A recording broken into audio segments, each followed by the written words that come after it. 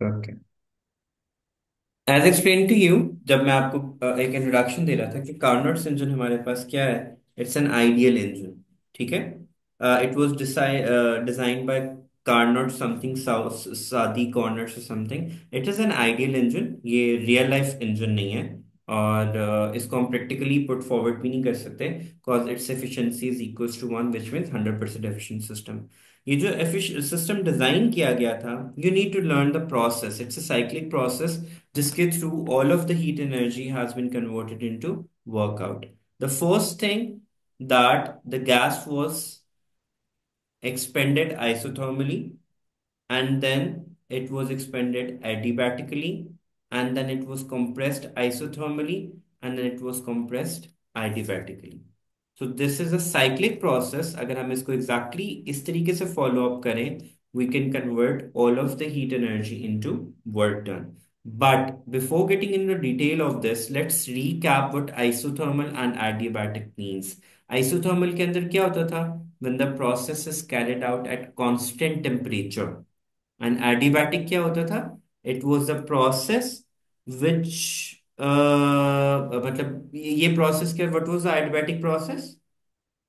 कि when no system uh, when no heat enters or leaves the system isothermal के case में हमारे पास equation of first law of thermodynamics क्या बनती थी कैन एनीवन टेल मी कि if the process is going to be occurred at constant temperature तो internal energy क्या होगी zero and Q would be equals to W. जितना भी heat आप देंगे it will all be converted into work done.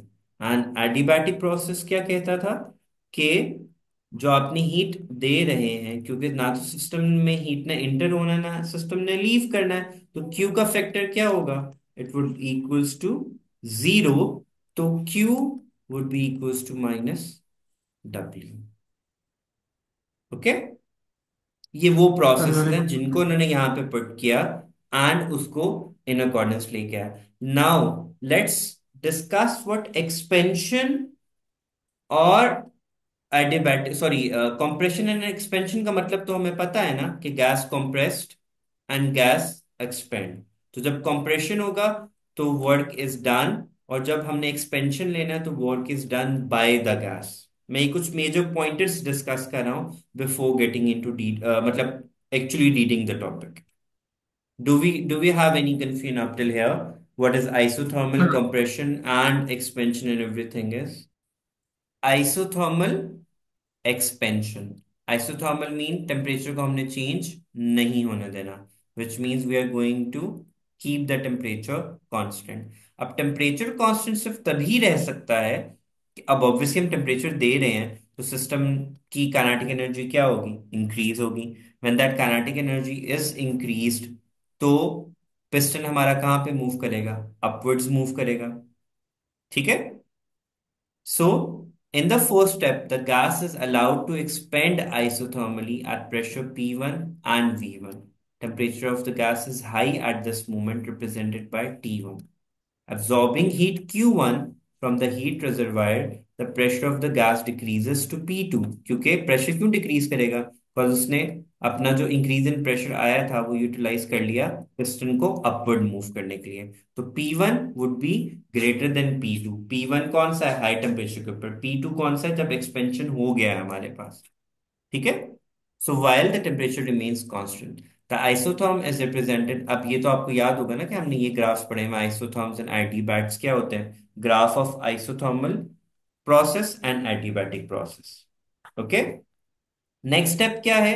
हमें adiabatic expansion करनी है। एडियोबैटिक एक्सपेंशन का मतलब क्या है?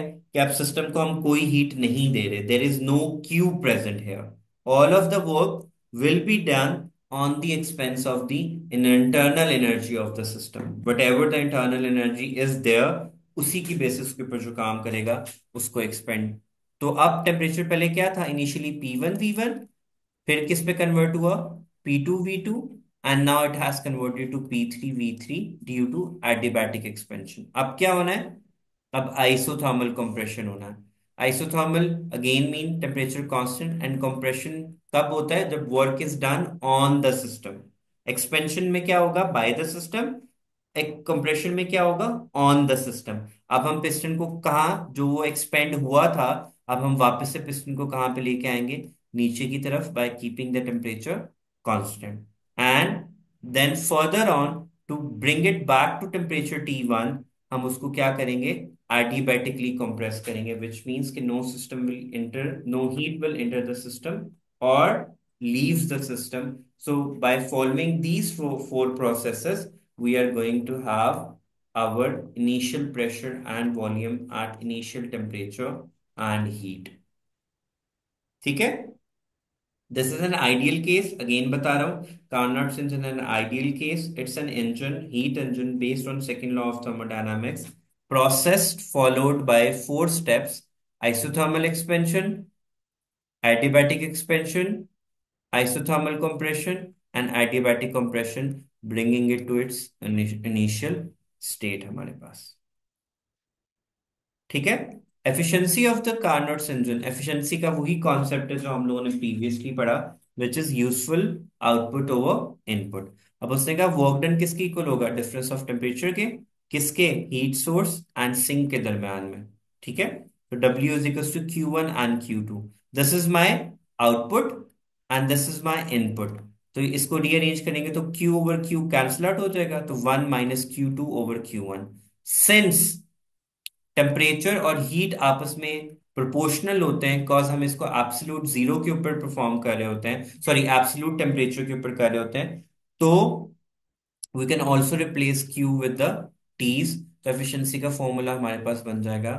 एफिशिएंसी को ईटा से रिप्रेजेंट करते हैं one minus T two over T one and ये वो मैं पॉइंट्स जो आपको स्टार्ट में डिस्कस कर रहा था ना, कि Carnot's engine is the efficient, most efficient engine, but practically not possible. From the observed result, it is clear that efficiency of Carnot engine is independent of the nature of the working substance. Because ये देखो क्या आ रहा है T2 over T1. T2 हमारे पास क्या है temperature of low reservoir sink and T1 किसको रिप्रेजेंट कर रहा है टेम्परेचर ऑफ़ हीट सोर्स यहाँ पे कहीं पे भी वर्किंग सब्सटेंस नहीं आ रहा so, Efficiency or yeah Carnot's engine totally depends on the difference of temperature between the heat source and sink के दरम्यान में जितना ही ज़्यादा डिफरेंस होगा उतना एफिशिएंट सिस्टम होगा ठीक है सो so, अगर इसमें इसमें T two and T one कोई जो मैंने आपको इन्फिनिटी का कॉन्सेप्ट बताया था ना कि इन्फिनिट होता है हमारे पास। If T one is infinite and T two is zero मतलब एब्सोल्यूट ज़ीरो पे हमने मेंटेन किया हुआ है तो this would fraction would come equals to zero तो एफिशिएंसी किसकी इक्वल आ जाएगी? वन की।